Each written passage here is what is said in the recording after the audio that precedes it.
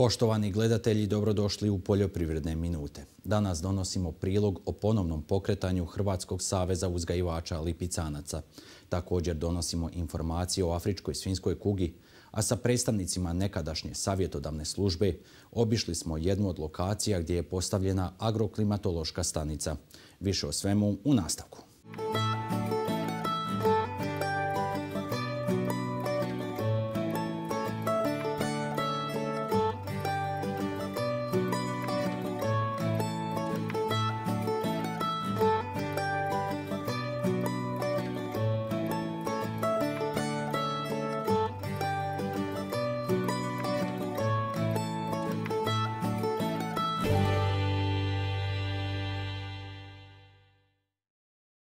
Lipicanci su od uvijek bili simbol Slavonija. Koliko je važno zajedništvo uvidjeli su i uzgajivači istih. Od 14. rujna, nakon dugog niza godina, ponovno je s radom krenuo Hrvatski savez uzgajivača lipicanaca. Rad saveza ovaj tjedan službeno je i predstavljen na konferenciji za novinare i to na imanju Antuna Medvidovića, koji je jedan od začetnika ideje. Konji, nadasve lipicanci, generacijama su u obitelji Medvidović i Sikirevaca. Sve je započeo djed Josip, a koji je ljubav prema ovim plemenitim životinjama prenio i na sina Antuna. Ja sam u svoji zubi otkinio, kupio mu jedno drijebe, ali nije to bilo granice. Jedno po jedno, pa je tu došlo po deset. Pa ajde, i tu je nekako. A djeto draga, danas mi ranimo 30-35 konja, pa to je veliki doživlja.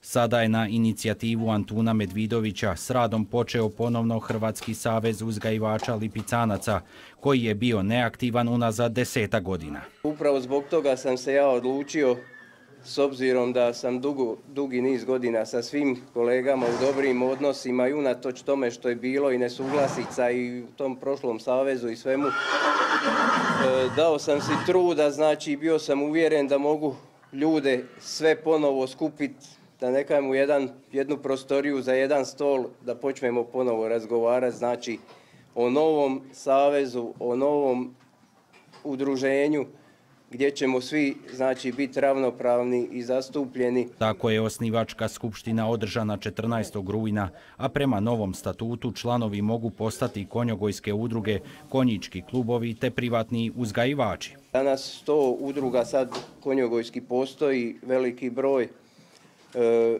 nažalost ima ih dosta još koji nemaju, rećemo, imaju udrugu, a nemaju pet uzgojno valjanih grla da bi mogli imati po našem sad statutu i pravilniku pravo glasa na skupštini. Ali evo i njih sve pozivam, svi su dobro došli. U ovome savjezu kada smo osnivali imali smo 33 grla koja su bila u mogućnosti da bi bila pravovaljana. U tih 33, 30 imali smo svu potrebnu dokumentaciju. mislim da to nije zanemarujući broj. Što se tiče osnivanja saveza, to nam je, će nam puno pomoći u samome samome e, e, budućem djelovanju i konjogojske udruge, a i sami svih e, privatnika. Zašto? Zato što puno je vremena prošlo od prošlog saveza i puno je, smo toga izgubili.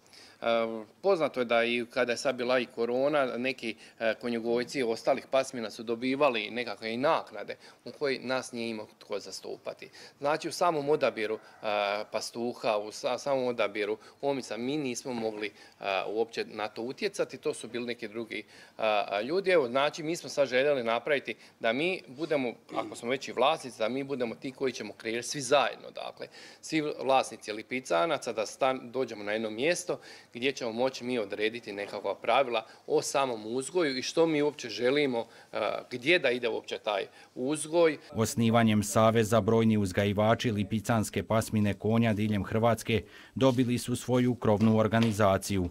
Ono što je zajedničko svim članovima Saveza upravo je ljubav koju gaje prema ovoj plemenitoj životinji. Cilj našeg saveza je ujedinjenje baš nas ljudi koji volimo konje lipicanere, posjedujemo njih jednostavno da imamo nekakve zajedne interese ovaj, oko uzgoja.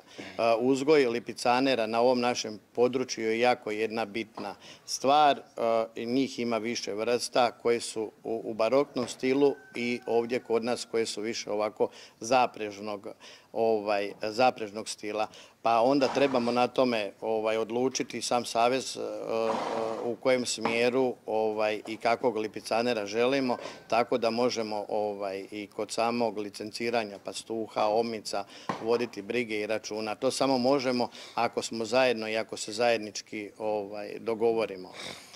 E, ja, pored e, uzgoja lipicanera, bavimo se malo i e, konjogojskim sportom, isto normalno sa našim lipicanerima. Tu mogu spomenuti jednu obitelj Vidačić koja nam pomaže u tom dijelu i ovaj naši konji, pogotovo imali smo cilj da damo ovaj prednost Hrvatskoj pasmini Slavonija koja nas je ovaj jednostavno promovirala. Ona je dala velike uspjehe e, gdje do danas e, ovaj drugi uzgajivači kao veliki uzgajivač Ergela Đakovo nije imala s njim rezultata. Pa bi ja rekao da su naše Slavonije ovaj, koje su se ovaj, oždrebile u, u Srijemu ovaj, e, impresionirale na sve.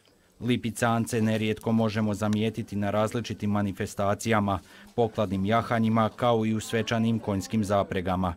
Svojom gracioznošću mame poglede, ali upravo njihov uzgoj pred uzgajivače stavlja različite izazove. Za dvije godine hrana, sva zov, sjeno, to je sve poskupilo dva puta je ošla cijena gore. Dok je recimo cijena konja, da ne kažem, još pala jer je nastala ekonomska kriza, gdje ljudi normalno, prvo se svako rješava onoga što, što mu nije baš nužno i potrebno za, za živiti, za preživiti.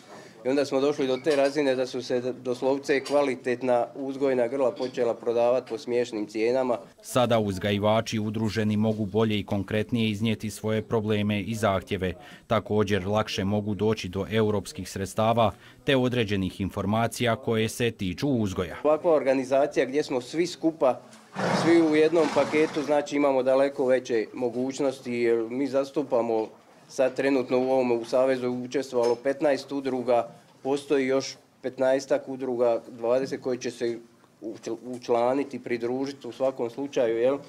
Znači to je već jedna ozbiljna organizacija i znači Savez je djelovati na nivou države, tako da imamo sigurno puno, puno veću perspektivu i lakše će se komunicirati i rješavati sve, sva problematika je bilo vezano sa ministarstvom poljoprivrede našim i vezano za evropske fondove, znači mi smo sad već nekakva ozbiljna priča. Jer ono pojedinačno, evo vidite šta ja tu imam sam, to je isto za naše pojmove velika stvar, ali jedan kao jedinka pojedinac, znači možeš plakat, jaukat koliko hoćeš, niko te neće ni čut ni vidjeti. A ovako smo svi skupa i kad svi skupa iznesemo šta je problematika i šta nas muči i tišti, znači neko će to ipak čut gore i, i, i malo o tome razmisliti i vjerovatno prihvatiti nekakve naše predloge i sve skupa vezano samo za boljitak i za razvoj ove naše kulture i tradicije koja će zasigurno braniti interese naših konjogojaca, prvenstveno uzgajivača lipicanaca, koji su i globalno prepoznati te odnedavno uvršteni i na UNESCO popis svjetske nematerijalne baštine.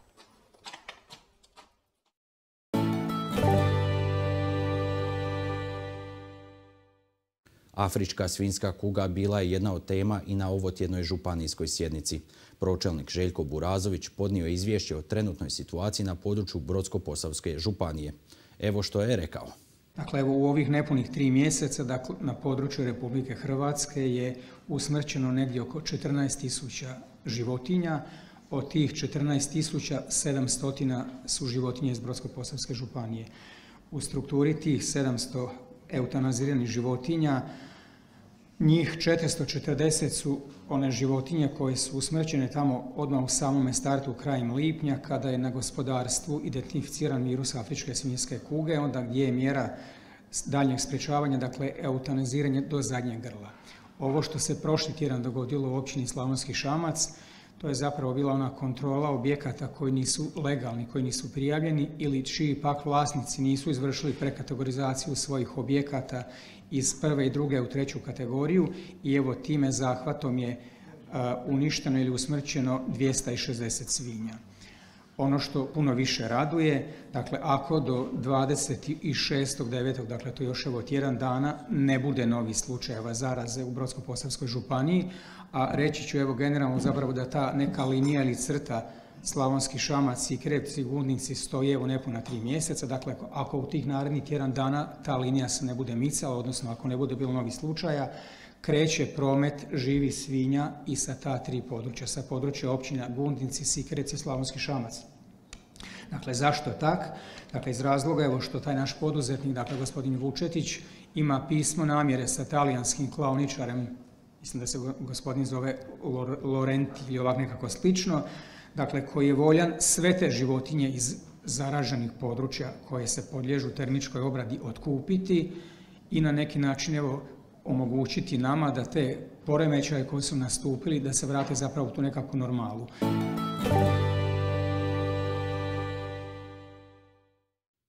U suzbijanju bolesti koja je poharala istok Hrvatske uključeni su i naši lovci. Kako nam i sami kažu, određene preventivne mjere provode već godinama. Poručuju ključ nadzor i kontrola divljih svinja. Pojava afričke svinske kuge i naše lovce drži u pripravnosti. Preventivne mjere provode već 4-5 godina, no bole se na našim farmama među domaćim svinjama ipak pojavila. Kada su u pitanju one divlje, potvrđeno je tek sedam slučajeva i to na području Vukovarsko-Srijemske i Sisačko-Moslavačke županije. Što se tiče same afričke svinske kuge, ona je sada još uvijek lokalizirana, znači po ovim uzgajivačnicama, farmama i tako dalje. Dakle, još nije ovaj, na našem području nađena e, lešina divlje svinje ili osveljeno nešto što ima afričku svinsku kugu. Onda će biti opasnost e, daleko veća, dakle onda se nesmetano širi prirodom, a sad dok je još uvijek u farmama i u tim e, dvorištima ograđeno i pod kontrolom, to je sada trenutna situacija. Jel? I na nedavno održanom sastanku iz Ministarstva poljoprivrede istaknuli su kako lovci imaju ključ u suzbijanju širenja bolesti. Stoga se njihove aktivnosti i sufinanciraju. Visina naknade za svako odstreljeno grlo je 75 eura i to u zaraženim zonama te zonama zaštite i nadziranja. Sezona kreće, ovaj, već je krenula polako, ali kreće sezona kak ide jesen zima kakve će biti mjere, kakve će biti uredbe, da li ćemo moći loviti, nećemo moći loviti i tako dalje. Ali ono što je sad bitno znači da se već e, par godina testira svako oseljeno grlo ide na e, testiranje na afričku svinsku kugu i trihinelu. Što je i jedna od preventivnih mjera. Rajković napominje na širem području Slavonskog broda bolesti nema, a problem nastaje ako se ona pojavi u prirodi kod divljači. Divlja svinja znači može po noći 50-60 km preći, e, nije to samo divlja svinja osveljna, znači lešina, pa lešinu vam, e, sve, pošto su isto svežderi, pa izmet, znači izmet svinje koji ima afričku svinsku kugu, najđe traktor, vozilo, prenese, odveze dalje i to se tako širi. To je onda opasno. Ali evo da kažem, dok još nije u prirodi e, problem, to se drži pod kontrolom. Tako bi trebalo i ostati jer ova bolest može imati ozbiljne ekonomske i gospodarske posljedice na naš svinjogojski sektor.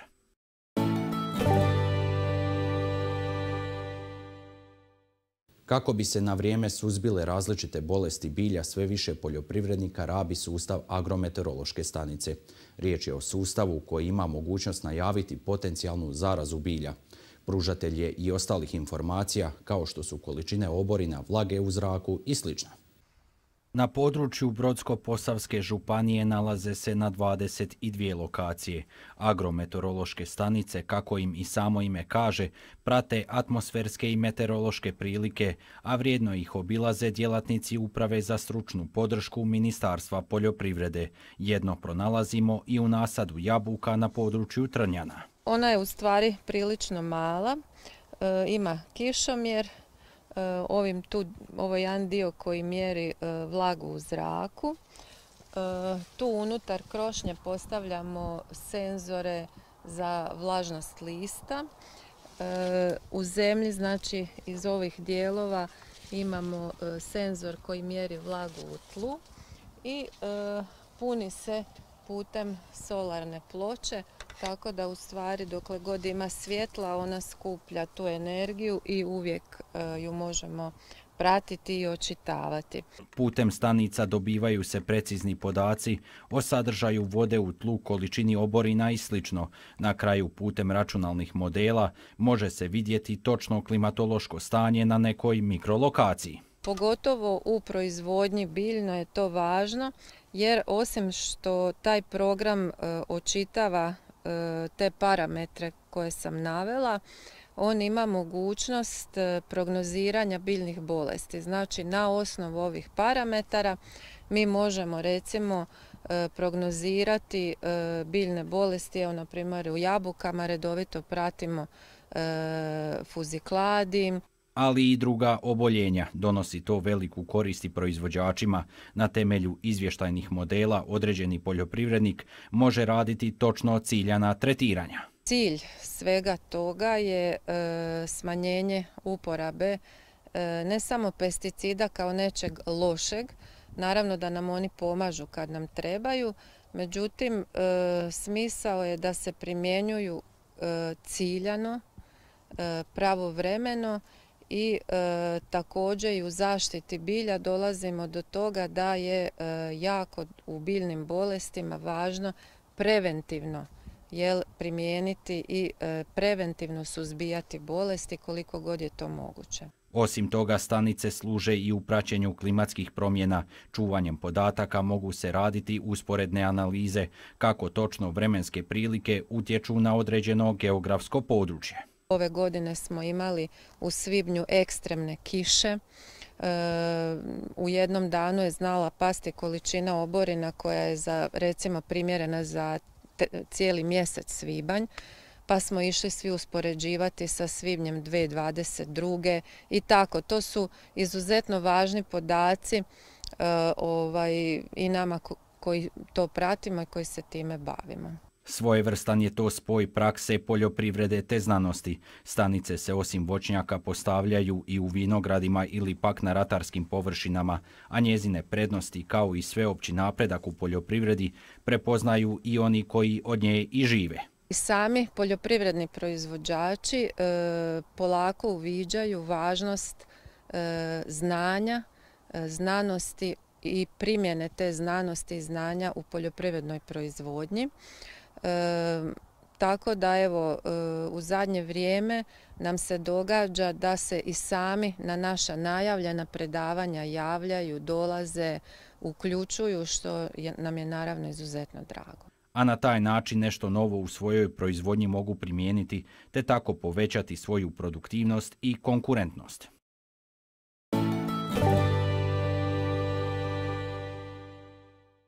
Evo, došli smo do kraja današnje emisije, a novi susret rezerviramo za iduću nedjelju u isto vrijeme.